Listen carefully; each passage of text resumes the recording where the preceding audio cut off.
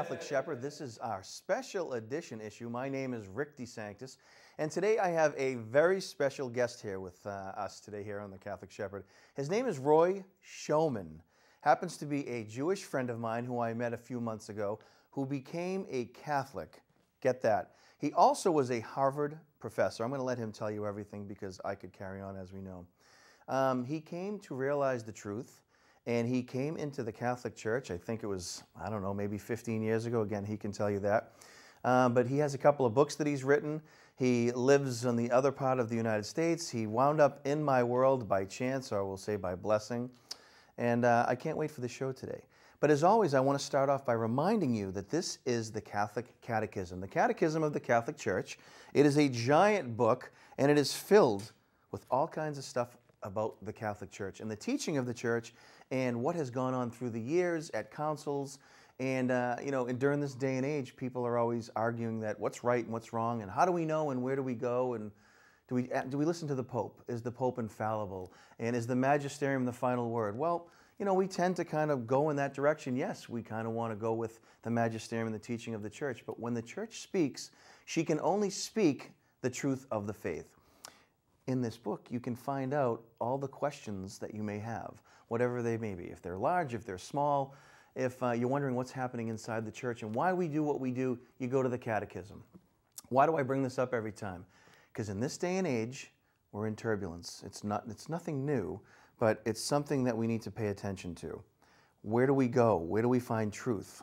You know, how do we know what the truth is? Well, we have the catechism. It's not the Bible.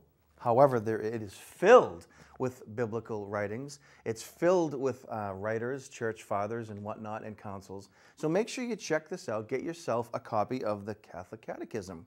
Yes, it's a very big book. Don't treat it as a novel. Go to the back, look at the index, and you'll find out everything you need to know.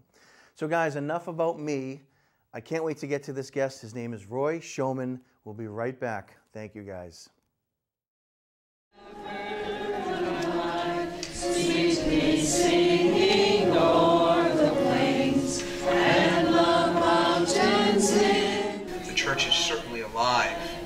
Just here at the mall, uh, but all across uh, Peabody.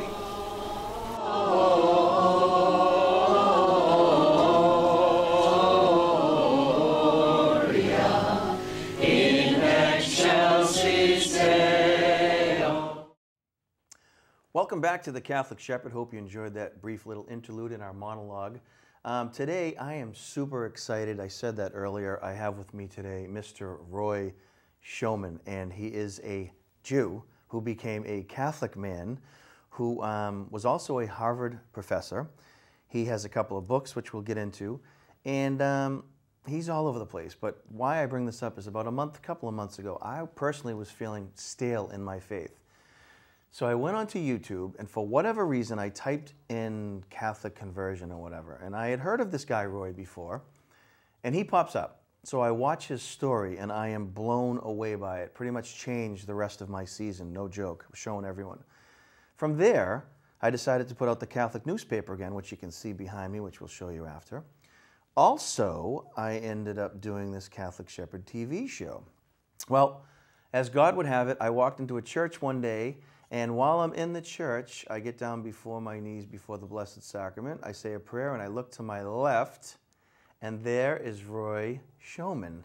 Roy Schoeman is sitting in the pew at the Carmelite Chapel. And I said, Can I take you out to lunch? He said, Well, it's kind of ironic. I'm only home for a day. Um, how about tomorrow?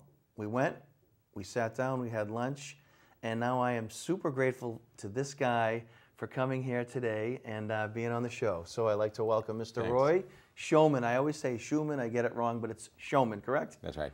All right. So I'm going to start at the beginning, like I said in my last few episodes, and pretend that I'm Marcus Grodi from EWTN, which I'm not. I'm nothing like uh, Marcus Grodi. But I want you to kind of share your story, and then we'll kind of get into it after if we have time. Um, if I have some questions, which I'm sure I will. So, um, Roy Schoeman, how you doing? Doing great. Awesome. Um, okay, start at the beginning. Let's start at the beginning. Um, I'll step right out of the way. It's it's a kind of a tongue twisting kind of a problem. What what I am. I know you said I'm a Jew. I don't mind that at all. Yeah. Uh, I consider myself a Jew in the Catholic Church. Uh, I don't think that I stopped being Jewish. If I was Jewish before I became a follower of the Jewish Messiah, who is Jesus, why should becoming a follower of the Jewish Messiah make me less Jewish? It should make me more Jewish. And yet I'm in the Catholic Church. So I figure I have to call myself or consider myself at least a Jew in the Catholic Church. Um, I uh, didn't start out that way, of course. I started out a um, unenlightened Jew. I don't want to offend anybody, but um, a Jew who didn't realize that the Messiah already came. My parents uh, were both German Jewish Holocaust refugees. I grew up outside of New York City. And um, they had both basically fled, fled uh, Hitler's Germany and made it to the United States. Uh, where they met and married. Uh, I had grew up in a very Jewish world. Um, the town we lived in, in fact, in those days, was the only town in the area that allowed Jews to buy a house. Uh, towns were called restricted, meaning that, that Jews couldn't, I suppose they could live there, but they couldn't buy a house there. Uh, all my parents' friends were Jewish, all my friends were Jewish. I went to Jewish religious education from the beginning of uh, school, from first grade until university alongside secular education.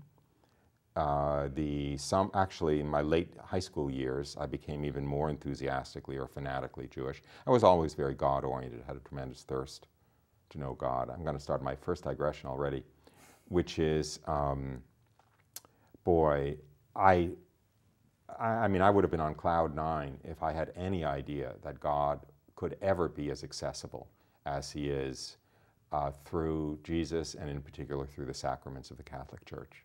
I mean, I was dying just to know the littlest sliver of truth about God or the slightest um, hint of a relationship with God. And what's available through the sacraments is absolutely mind blowing. And since you start the show with a plug for the Catechism of the Catholic Church, uh, as a child growing up, I would have given my right arm just to know the answers, the answers to the questions that bother every human soul, right?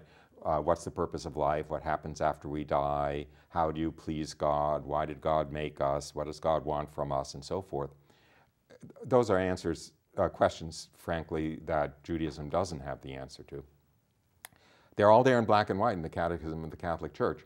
Um, I'll actually be a little bit uh, on PC and say, uh, in some ways, the old catechism of the Catholic Church, the Penny Catechism, mm-hmm. uh, I think it was called the Baltimore Catechism. That's, or I think it's uh, designed for a seven-year-old to start reading it. Is even that? I mean, I mean, I would have, you know, as I said, given my right arm to know those answers, and they're right there in black and white. But anyway, I didn't. But I was kind of hungry for God, and so late in high school. I became a follower of a Hasidic rabbi, the Hasids with the long ear curls. And um, he was uh, Shlomo Carlebach. He had a kind of an outreach to not exactly fallen away Jews, but to non Hasidic Jews, trying to bring them into a deeper spirituality. And I became a follower of his and spent the summer between high school and university in his entourage, following him around and going to his prayer meetings every night and so forth. And uh, I went to Israel with him and tr- was doing this in Israel with him that summer and uh, even considered not returning to the United States to begin university, but staying in Israel and entering the closest thing that Judaism has to religious life, which is a life of uh, study and prayer in a yeshiva in Jerusalem. But I didn't. I returned to the United States. I began university, MIT. You might have heard of it. Mm-hmm. And um, I uh, lost my faith there. I lost my belief in God there under the influence of the incredibly arrogant and falsely scientific view that religion is just some kind of a superstition that man came up with to pretend to have the answers to what science would later give him all the real answers to. Um, and I bought that kind of hook, line, and sinker, uh, but it actually is the opposite of a scientific worldview because the essence of science is you start with the data, you look at the evidence, you form a theory that can explain the evidence. If it's successful in explaining the data, you can keep that theory, and if not, you have to throw it out and come up with a theory that can explain the data, the evidence. And in fact, materialism, so to speak, that there is nothing beyond the physical world that we see, fails miserably in explaining the data.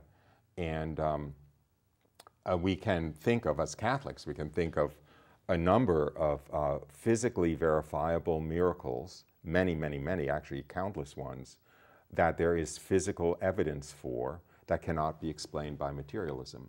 We have the Shroud of Turin, which was the burial cloth, believed to be the burial cloth of Jesus, that uh, bears a miraculously produced imprint of a crucified man um, on the cloth with no pigment, with no um, no physical explanation of how the image got there, and which even today, in 2019, couldn't be counterfeited with all of our technology today.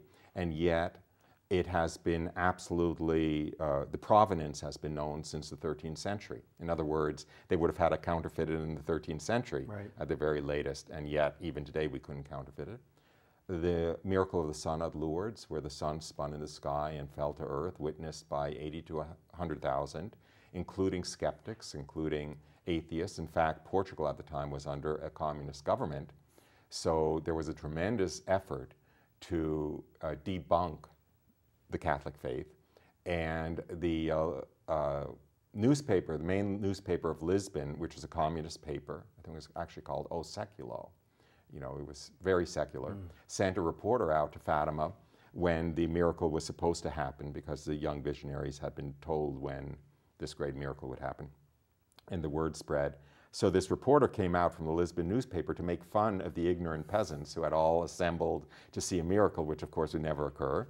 And uh, not only did the miracle occur and was witnessed by everyone there, but it was witnessed by the reporter who was kind of in a quandary because he wanted to just make fun of this superstition, but in fact, he admitted what he saw.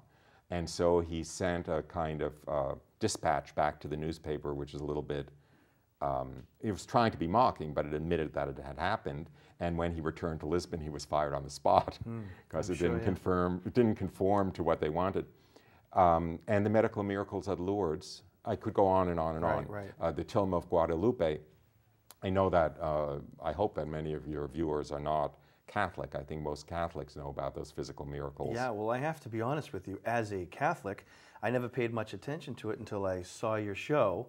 Um, not that I was putting it down, I just had always looked at Our Lady of Guadalupe as another miracle, and I wasn't basing my faith on it. But because of that, I have been studying, which kind of led me back to you. And uh, a lot of other, uh, other little uh, weird things have happened since then. So continue, didn't mean to interrupt. No, please interrupt. Um, I would say it's not a matter, it shouldn't be a matter of basing one's faith on it, so to speak. Um, but at the same time, if you want to have a scientific attitude, you have to come up with a hypothesis that can explain physical evidence. Right. And that's a challenge. If you want to dismiss faith entirely, if you want to dismiss the supernatural or the spiritual entirely, it's quite a challenge to come up with a hypothesis. Basically, what you have to say is that um, every witness is lying, every scientific measurement, the people reporting it is lying, and so forth. And it's, it's just um, kind of incredible. I mean, it's unsustainable, is what I mean by incredible. Uh, the, um, I'm going, well, I'll get back to the mainstream.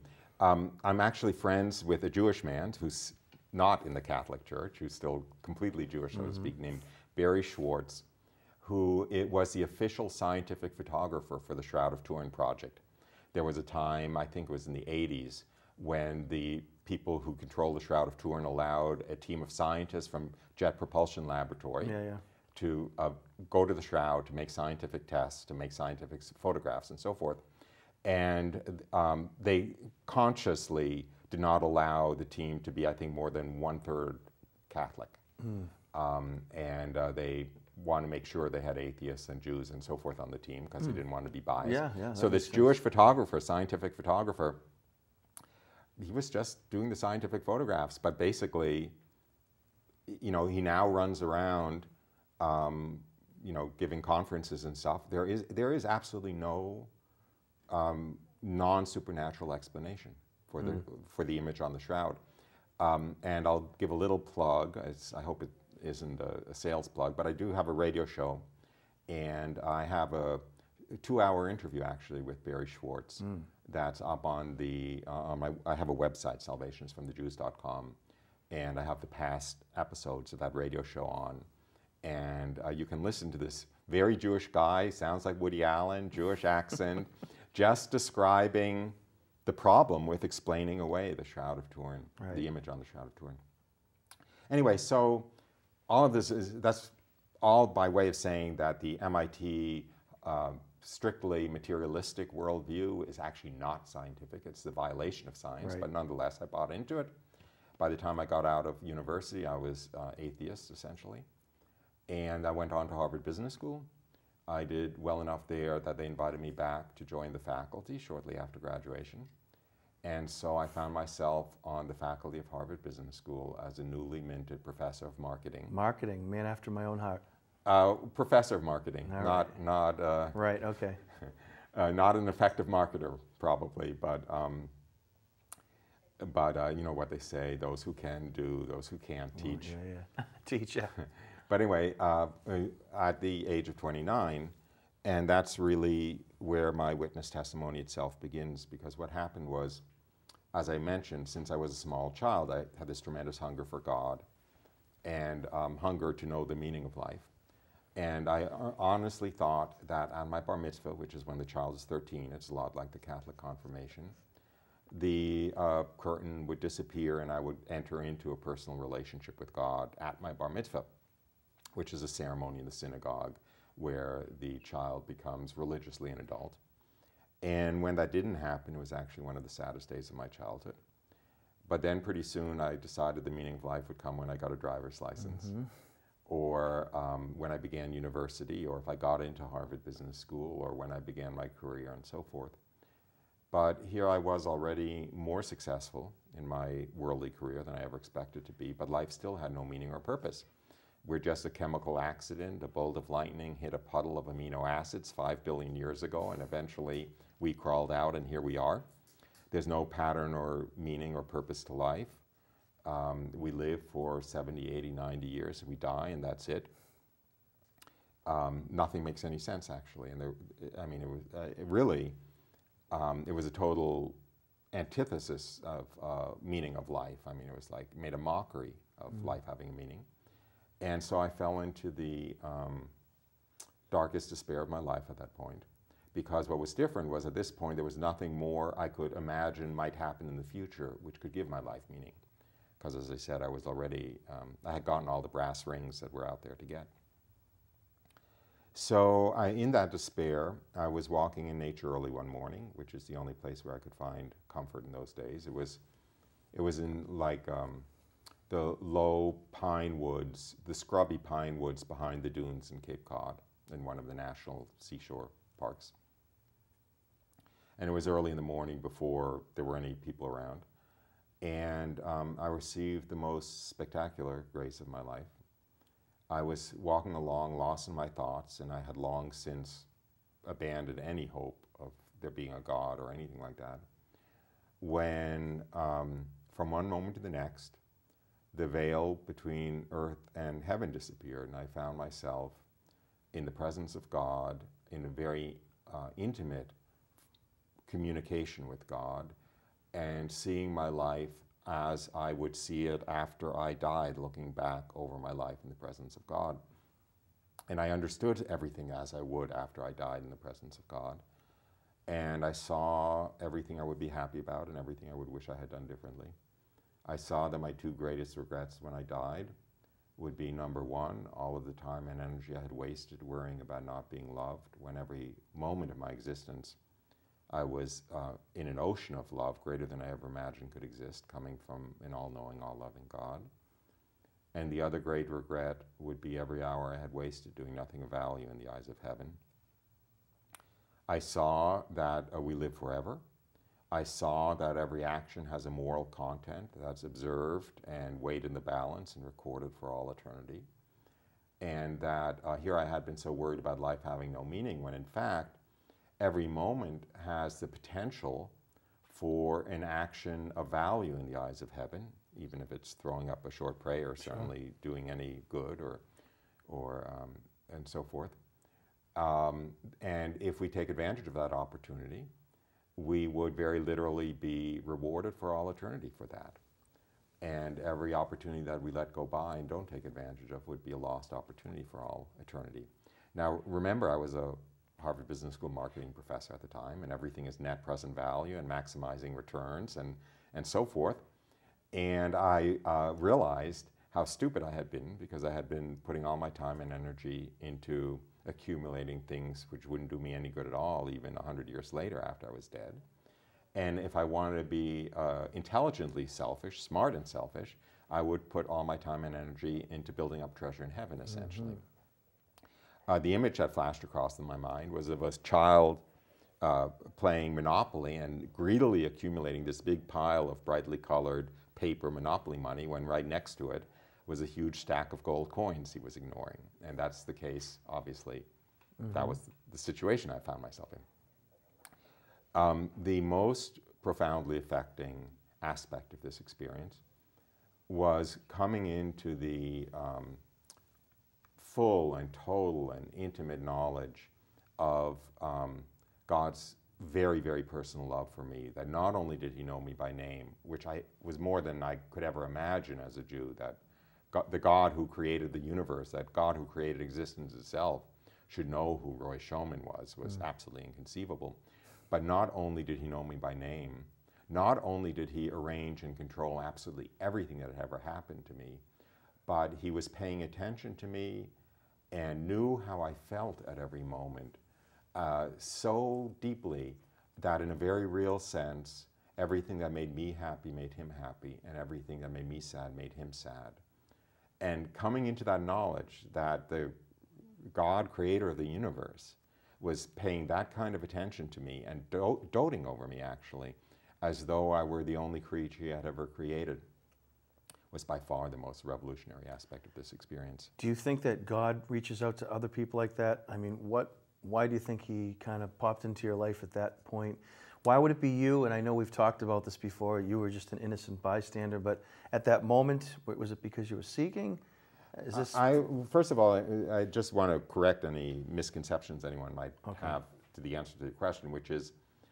Um, whatever was particular about me receiving this grace of, of this um, uh, uh, theophany, of this experience of God, there's nothing particular to me about that personal love that God has for me. That's universal sure. and that's incomprehensible. But the reason I tell the story is that it applies to everybody, that, that God dotes on everybody like that and is intimately involved and yearning for the love of everybody like that.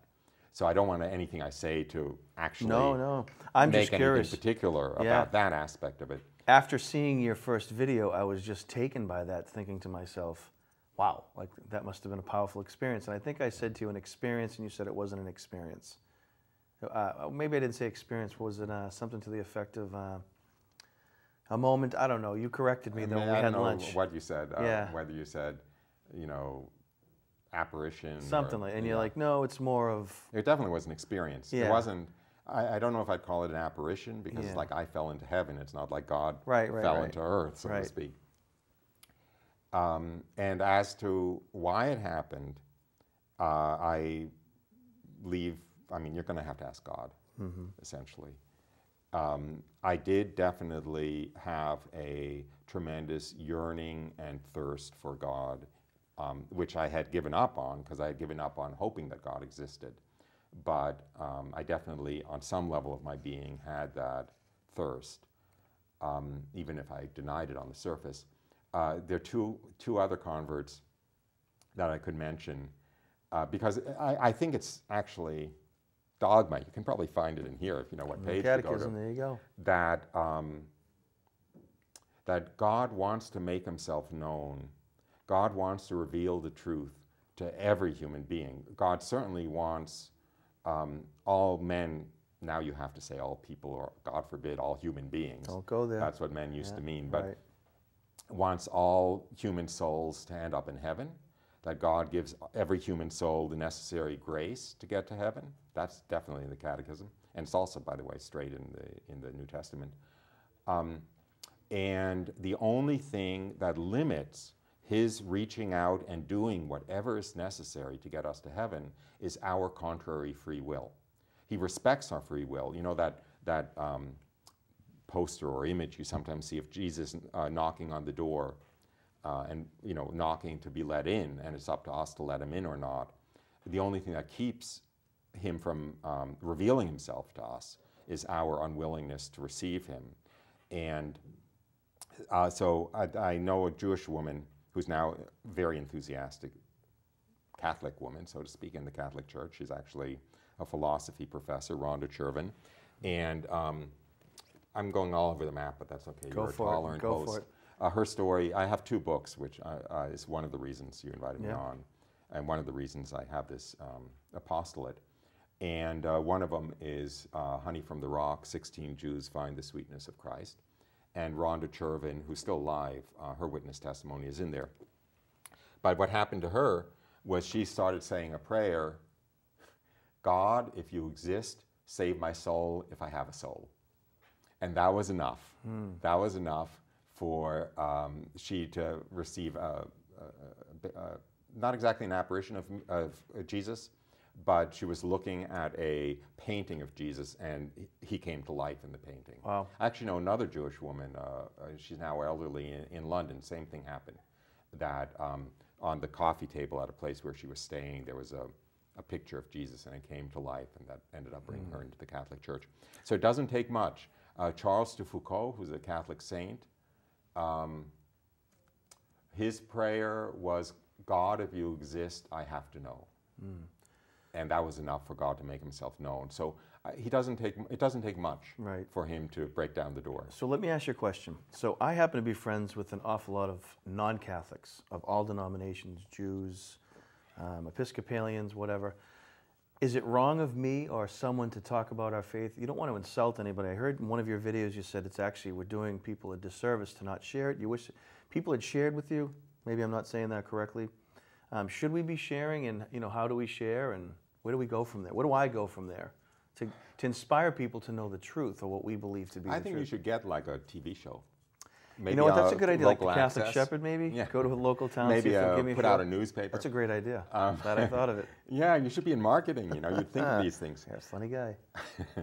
Um, I um, the the problem is one has to um, put some detail behind the words because words like evangelization or or um, sharing the faith and so forth they covered a wide range of activities and and uh, one probably has to be a little bit more more uh, exact in, in, in you know if you want to give a recommendation. In, in, at college at MIT, uh, there was one one young man in my class who was an observant Catholic from a devout Catholic family. His name was Steve, his first name. I was dying to be his roommate. I moved heaven and earth to be assigned to be his roommate. I had total contempt for the Catholic Church. I had total contempt for him and his devoutness and all of that stuff. Us foolish Catholics. We were all foolish at the time, correct? Um, but he had a sunniness and a joy that none of my neurotic Woody Allen New York Jewish friends had, you know, and I- which I wanted to be around. And uh, I went out to his house. He grew up on a farm in Iowa, and he took me out there. I don't know if Thanksgiving break or one of the breaks. And his family, very Catholic, never would dream of missing Sunday Mass. Father had thought of being a priest for a while, but he became a farmer or stayed as a farmer. Um, I was like so moved. I don't know what to say, but you know, in a way, it was like in heaven on earth. Just their their kindness, their gentleness, their lack of neuroticness, you know, their faith. Uh, they never proselytized me. Um, they did. They did. The, the whole family had to go to church on Sundays, and I don't know if it was a matter of transportation. I don't remember whether I got out of the car and went to church, but I was in the car with them going to church, and I I spent the time singing a uh, song mocking the Catholic Church. I don't know if anyone knows Tom Lehrer, but he used to I be a, a comic Yeah, yeah. songwriter, and it was called the Vatican Rag, and it was it was like it was a mockery. It was like a Monty Python thing Right, on right. making fun of the Catholic Church. So that was my up. rebelliousness against his family, and they didn't react. I mean, they they kept probably a stony silence, Yeah. but it's not like they yelled at me. It's not like they kicked me out of the car. That was evangelization, you know, their kindness, their gentleness, or whatever. So definitely, I think, um, you know, at the very least, one, it's very useful to let people know what you have in your, first of all, if you're not Catholic, but if you're some other form of Christian, uh, let people know what you have in your relationship with Jesus. Let people know what Jesus means to you. Let people know um, what you think or what you hope is waiting for you after death and so forth. If you're Catholic, let them know what going to Mass means to you, what receiving the Eucharist means to you, what saying the Rosary means to you, what going to confession means to you. When it comes up, just let them know. And you're not Right. telling them, you know, you'll go to hell if you don't go to, you know, become enter the Catholic Church. Right, right. But you're just letting them know. They're letting letting them see the light shine in you and know that that light is coming from what you get through the sacraments of the Catholic Church. So that's, I think, universally safe and effective means of evangelization. Yeah, so um, about, I think it was 15 years ago, you wrote your first book. Was it Salvation from the Jews? Was that the first book? Yes, salvation is from the Jews. Why I want to bring that up is I didn't know Roy at the time, but I picked that book up. Let me see if we have that here. I know we do. This book right here, Salvation from the Jews. is Um, from the Jews. Uh, Salvation is If from the Jews. If anyone Googles now, you have yeah, to get gotta every get it right. right. yeah. You know? So I'm on the beach reading it, and there's a comment in there, and you said, well, and I, it, it may be a little bit off, something to the effect, you can't unjew a Jew. Once you're a Jew, you grew up in a tri- from a tribe, and you follow in that tribe. So now you're dealing. Why, why do I bring that up? You're dealing with family issues now, as you're growing up. You become this Catholic, and now you have a mother and a father and family members who are probably Let me back up. First of all, let me back up. I, I certainly never said you can't undo a Jew, whatever no. that I, means. well, I, I kind of use my own words. Undo a Jew. You you are. no, it's, it's, it's much more than that. Okay. Um, and then I better get back to my witness testimony at some point because people will wonder, Yeah, especially the go? Protestants, why, you know, God forbid, why the Catholic Right, right, Church? right, it's, you know, not real Christianity and so forth. But um, uh, basically, if anybody wants to know why you can't undo being a Jew, so to speak, uh, one place to go is Romans chapter 11. St. Paul makes it very clear. This is St. Paul. This is St. Paul on his missionary journey. This is St. Paul, the apostle to the Gentiles, saying, I myself am an Israelite, a member of the tribe of Benjamin. Um, he's using the present tense. He makes it very clear he is still a Jew. And then he goes on to, to actually say explicitly that the church is composed of Jew and Gentile. And the church will be composed of Jew and Gentile until the second coming. And he uses the uh, simile of the olive tree, the olive tree of salvation. Um, the, the tree was already was originally planted in Judaism. The trunk is Judaism.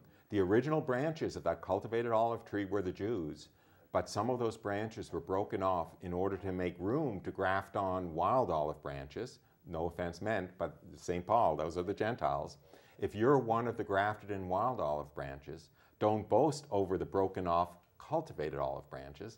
Remember, if you do boast, first of all, that they were only broken off to make room for you, and secondly, that God has the power to graft them in again, and when He does, they'll be even better suited to the tree because they were an original part of it.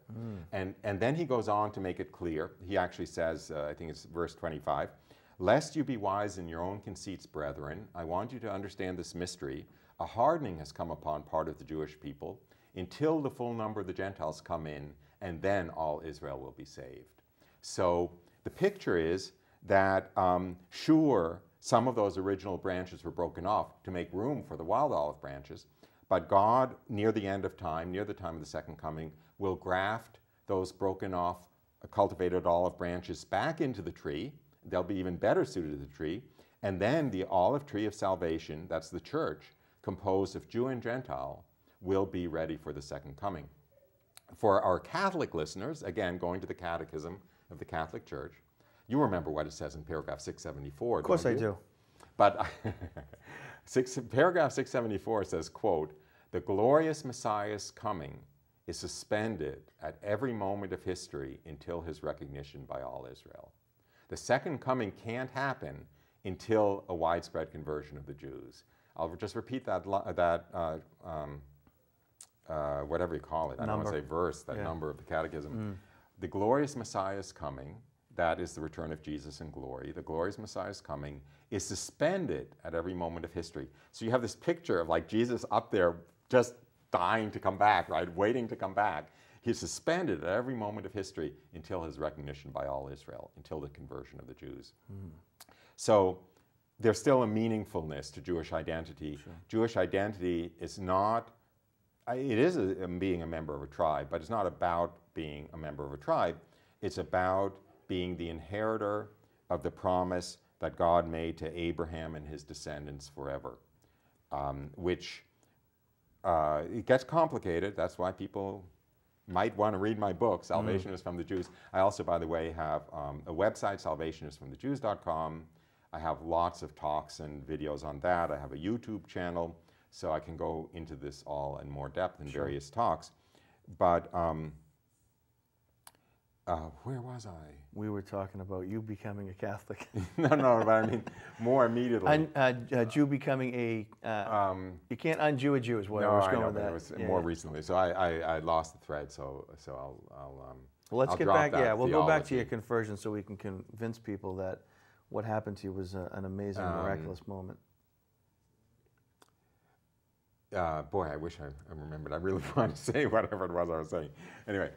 Um, Okay, back to the beach. There we back go. To back to experience. the beach. Sorry to take you off. Um, I, you know, I went home after that experience. The, the state of consciousness faded over a few hours. And um, I fell back into not seeing into the spiritual world, you know, not having that um, uh, intimate communion with God and so forth. But I went back home happy like I'd never been before. I knew there was never any reason to worry about anything. I knew that the absolutely all powerful God who controlled absolutely everything that ever happened to me was controlling everything, so it was the best possible thing that could. Um, that could come to meet me, so to speak, that, that, that could um, come to me.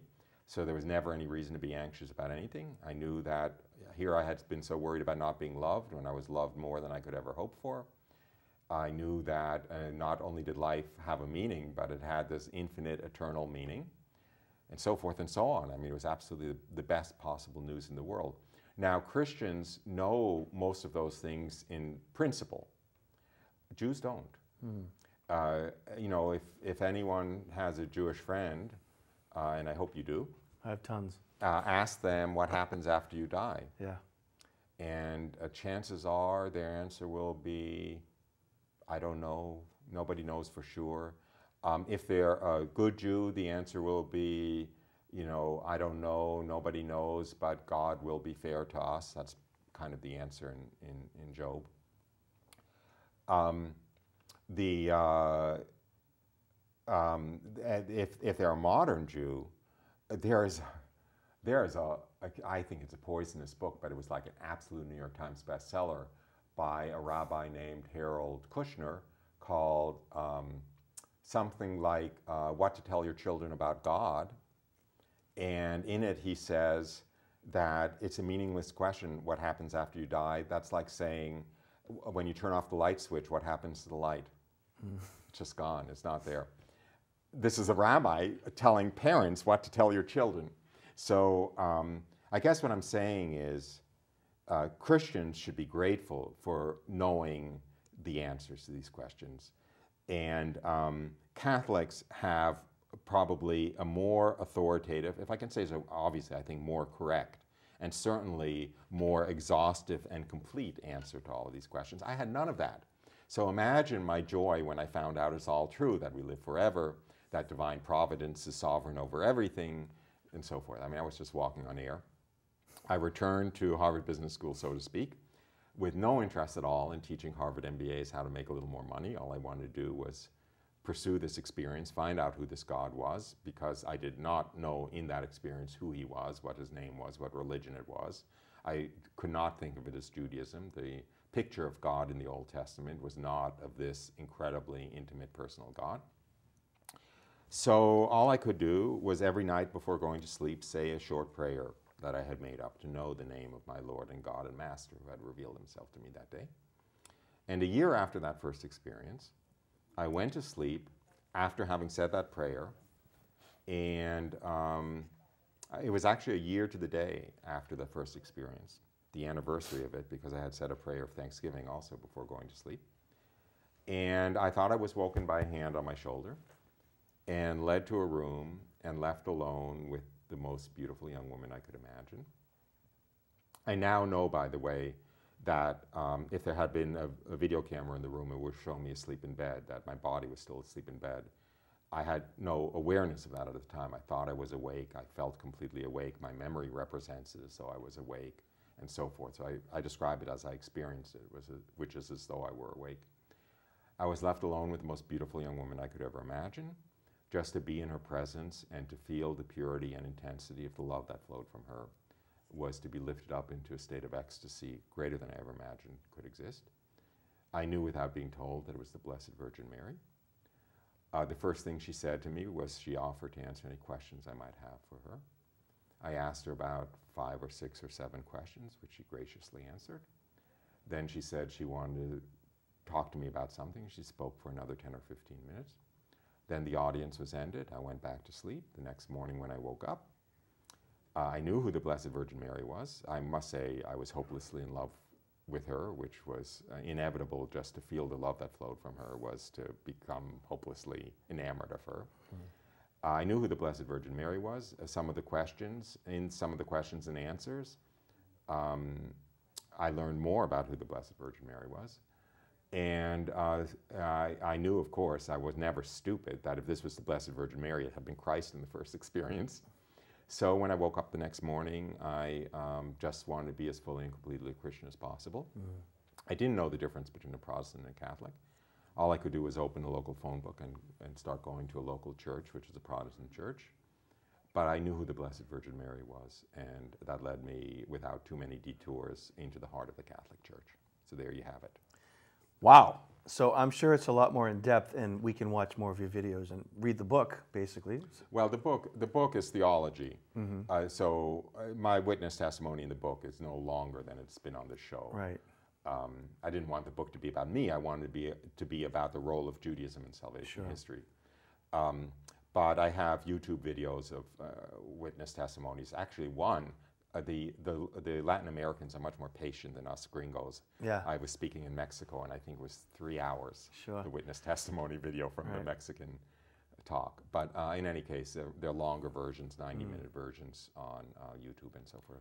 So, guys, we're a new Catholic TV show, as you know, um, and we, we're trying to keep everything within its time limit. And his story is it's much bigger and broader. If you kind of dig him up on YouTube, you're going to want to hear more about this and what happened in his life because I followed from one YouTube video to the next, to the next, to the next. And a couple little um, miraculous little moments or God incidents, I like to call them. After I met you, people from everywhere have been reaching out to me saying, Have you heard of this guy, Roy Schoeman? I don't want to say Schumann, Roy Schoeman. Um, and I'm like, Yeah, as a matter of fact, I have. But everybody's watching your uh, YouTube videos and they're reading your books. And it's, it's a, a bigger story than what we're doing here today, but I wanted to put him on because I like to have each show have a little bit about people having a uh, conversion to the Catholic faith, whether they're a Jew or a Methodist or an Episcopalian. As you know, we had Father Dave, who was an Episcopalian. Um, anything you want to say out there to people to keep their eyes open for to find God if they don't know God personally? Is there anything that you would suggest to people in the audience to say, like, hey, you know, pray this or do this or to put something in a place where they could find what it is that you found. If, if they're um, if they're Christians or if they're if they're atheists, I like those other prayers. Like I said, like Charles de Foucauld, God, if you exist, I want to know. I have to know. Um, if they're Christians, then you already know a lot about how God wants you to live your life, and it's kind of a principle that if you don't follow what he's told you publicly, he's unlikely to go too far in telling you things privately. In other mm. words, the first step is to basically turn away from sin. And I think that um, if, if someone's a Catholic, um, we know what that means. It means, uh, you know, stop sinning, go to confession, uh, uh, um, indulge in the sacraments, Right. you know, uh, follow the sacraments and so forth, follow the rules of the church. If it's a Protestant, follow what Jesus tells you to do in the New Testament and ask to know him more deeply. And uh, if, if you pray that from your heart, the, God's in the business of responding. Yeah, God will reveal Himself. Um, so, again, guys, Catholic Shepherd, what we do here is we inspire, we evangelize, and we hopefully want you to get excited about the Catholic faith again uh, or for the first time. So, uh, I want to say a huge, huge thank you for you coming Thanks. on here today. You Thank made my day. I am super grateful to uh, have you here. And I wish you the best on all your endeavors and uh, keep inspiring everybody. Like I said, guys, make sure you reach out um, on YouTube. Look at what Roy Spell my name so they can find me on YouTube. C H O E M A N. They're not going to find me on YouTube if they if they leave out one of those letters. You're right. So yes. make sure. So tell the camera, yeah, exactly where you want them to find well, you. uh, S C H O E M A N. okay. That's right. Uh, Roy Schoeman, and whether you look on YouTube or Google or for my website or whatever, Yeah. if you spell my name right, you're likely to find it. Yeah, please do. And guys, make sure you tune in to our next uh, episode. This was a little bit longer. Our, our typical show is a half hour. Guys, thanks for tuning in. We'll see you guys very soon. Thank you again. God bless you all.